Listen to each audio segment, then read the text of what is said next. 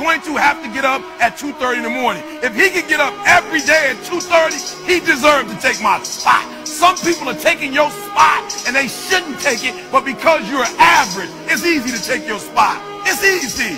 It's easy to beat you. Why? You average. Everybody wants to be a beast until it's time to do a beast business.